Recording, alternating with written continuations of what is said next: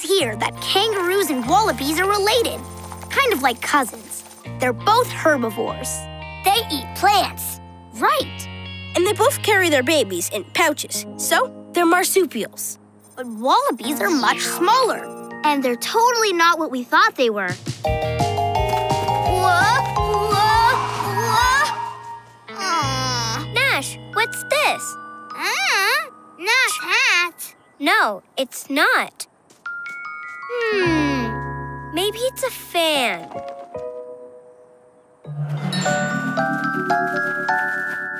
Look, a koala. Cool. That must be a eucalyptus tree. Eucalyptus is really hard to digest, and for many animals, it's poisonous to eat. Koalas are one of the few animals that can eat its leaves. Look at this! That koala has a pouch with a joey. If it's got a pouch and a joey, it's a marsupial. Like kangaroos and wallabies. You know that koala looks just like my teddy bear. But koalas aren't bears. They're a completely different animal. Whoa, another Australian marsupial that's not what we thought. Hey, what is that? You know, I'm not really sure, but it's not a fan. Hmm, maybe you play catch with it. This looks like a good place for a picnic. I've got everything we need right here. Whoa! Check this out. Is that a mouse? And is it eating a flower? We've got to look it up. It's called the honey possum. It only eats the nectar and pollen from flowers. It's got a long tongue that fits deep into the flowers to get the nectar. Like a hummingbird. And guess what? Honey possums are totally marsupials. There are over 200 different kinds of marsupials in Australia. This one looks like a bear. But it eats grass like a cow. It's a wombat. Look at those teeth! That's a Tasmanian devil. They're meat eaters. And take a look at this one. It's a tree kangaroo. A kangaroo that lives in trees? Amazing!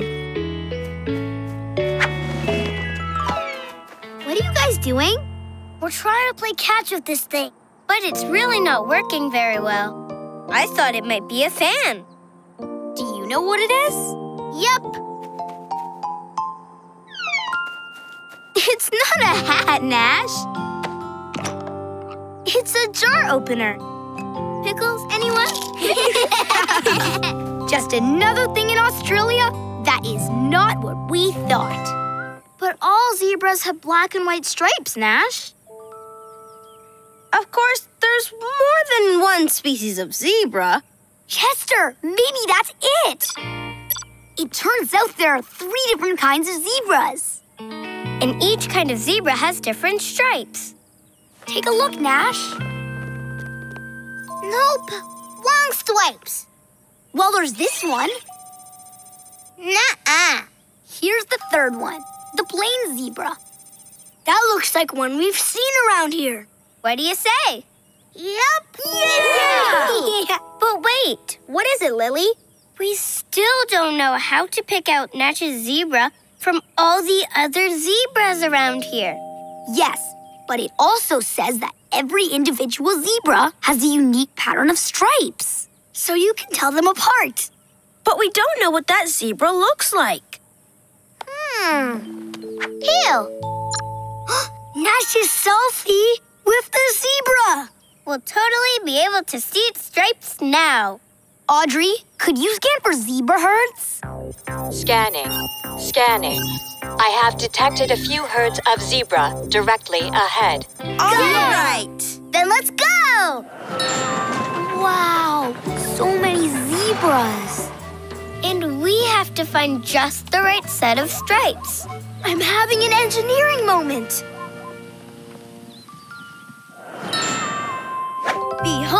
The Polo Zebra Matcher. It should be able to compare the stripe pattern of Nash's zebra to any other zebra. Yay!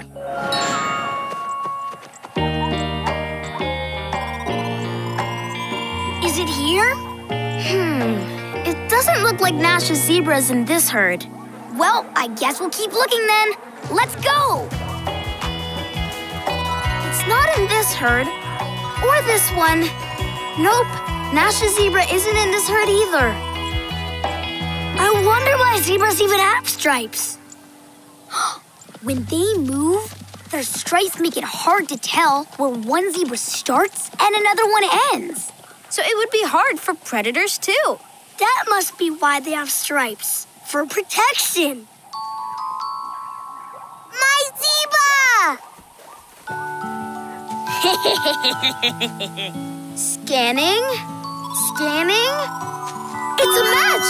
That's Nash's zebra! I think Nash already knew that.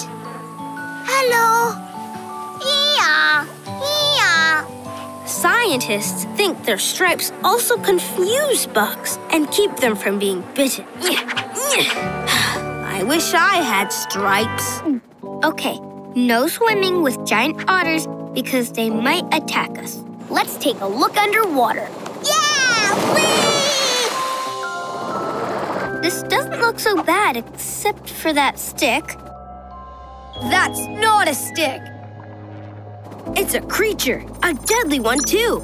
It's an electric eel. An eel that's electric? Seriously? How is that even possible? Electric eels have special body parts that make electricity. They need this to help them hunt prey and defend themselves. What's that? Oh no, there's another one! That's not an eel. That's a snake. A ginormous snake. How many things live down here? Well, anacondas do, right, Chester? Yep. They're the biggest snakes in the world. They can grow to be as long as a school bus. That's big. Do they bite? No. They coil their bodies around their prey and drag them into the water to eat them. Cool. But no swimming with anacondas. Absolutely yeah. not. No. How about here? It looks beautiful.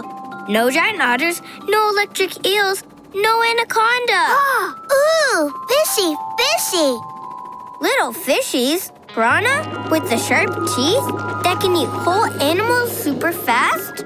Yes, but these red piranhas bark to warn other creatures to stay away from them. Woof, woof, woof.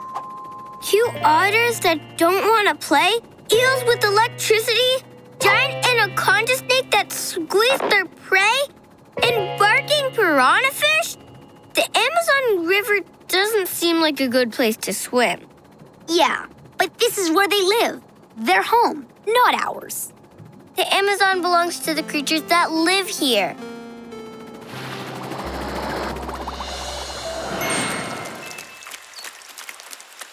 Sorry, Lily.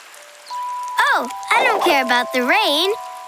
If only I could find some place to swim. If I could just find one place, any place to go swimming today. Well, how about this? I was working on the robo umbrella, but then it started to rain, and it turned into a swimming pool. Yay! Thank you, Willow. Cannonball!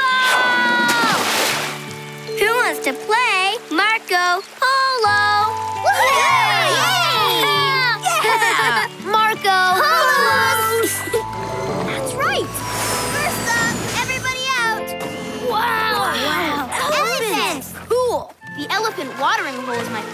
Favorite thing. Good one, Willow. Thanks. And now it's time for my favorite meal, breakfast. I could eat. What's next, Willow? You'll see. The Amazon rainforest? That's right. For my next favorite thing, zip lining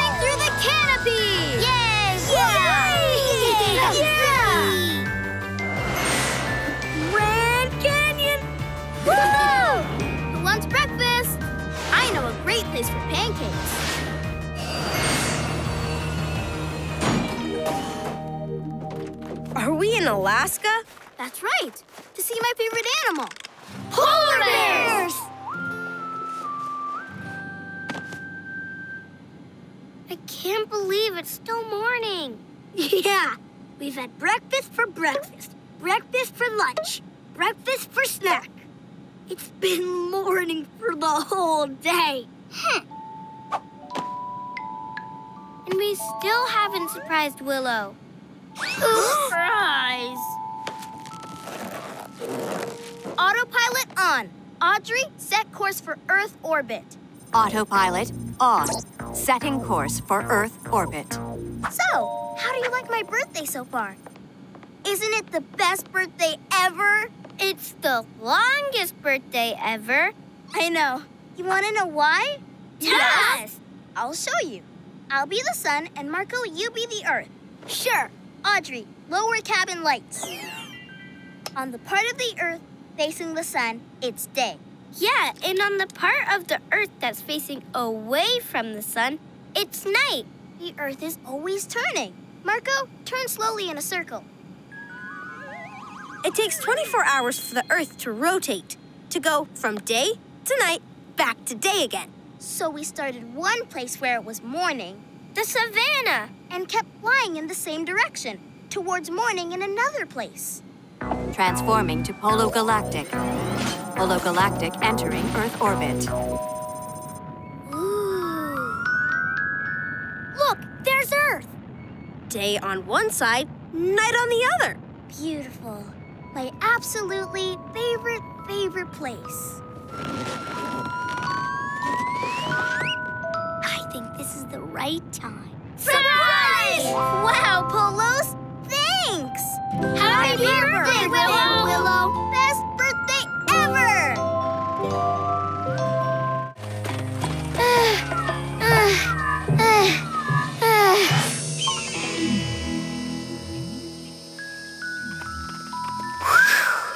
It's hot. I wish I'd brought my hat. Here! My hat! You brought it in your backpack?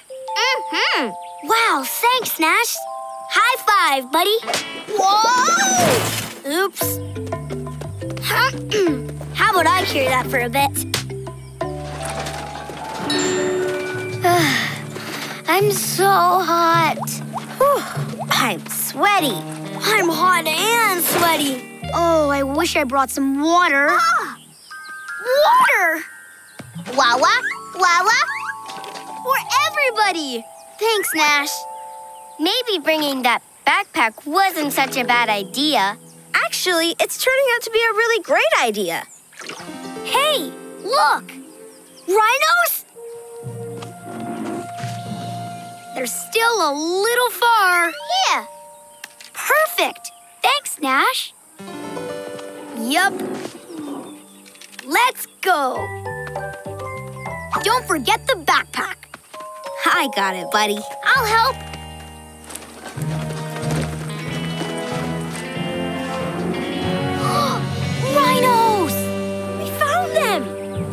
They're big. One of the biggest land animals. Elephants are the biggest. Rhinos are so big that nothing around here eats them. Uh, what's up with those little birds? It looks like they're pecking at the rhinos' backs. Eating bugs. I think you're right, Nash. The birds are picking bugs off the rhinos and eating them. I've heard of them. They're called oxpeckers. They help the rhinos by keeping them free of bugs. And the rhinos help the oxpeckers by giving them a source of food. No wonder the rhinos let the oxpeckers peck them. They're both getting something they need. Just like Nash helped us out today. Yeah, we never would have made it to see the rhinos without Nash and his backpack. And Nash would have never made it here with his backpack without everyone helping to carry it. I wonder what else he's got in there. Whoa! Stuff. Teddy, bouncy ball, helmet, socks, book, zippers. My stuff. well, I guess we better help Nash get all of his stuff back into his backpack and get it all the way back to the Polo Mobile. Right. Another hot, sweaty, thirsty hike to right over there. We barely left the Polo Mobile. Oh, you're right. Look. Oh, sorry. I just really want my wish to come true for you all. You're my best friends. Audrey, what was it that flew past the ship? The object was an asteroid heading towards Earth. Earth? Gorby, that's great news! It is. Why? An asteroid's just a rock. A big, chunky rock floating through space. Like the ones in the asteroid belt, going around the sun between Mars and Jupiter. Yes, but when an asteroid reaches Earth and enters its atmosphere, it becomes a meteor. And then. What? Something cool? Tell us, Chester. We can't take the suspense. Take a look.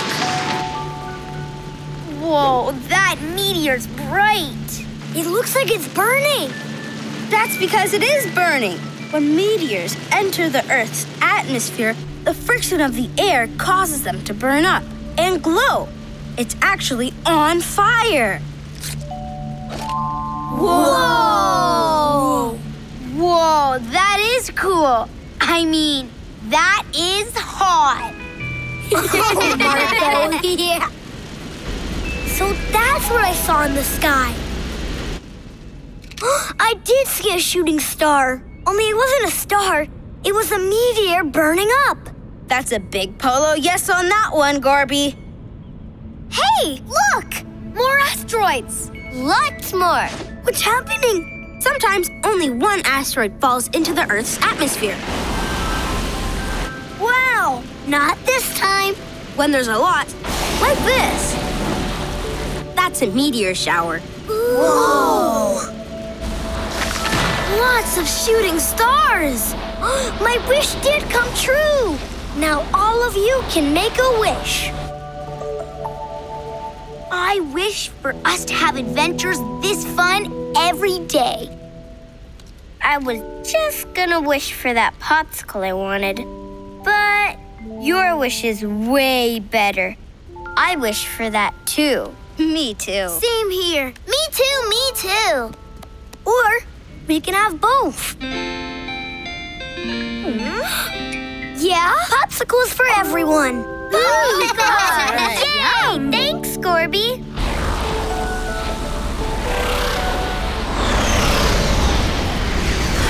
And we're back. Just in time for the meteor shower. Yay! Meteors! And popsicles! Wow! Delicious!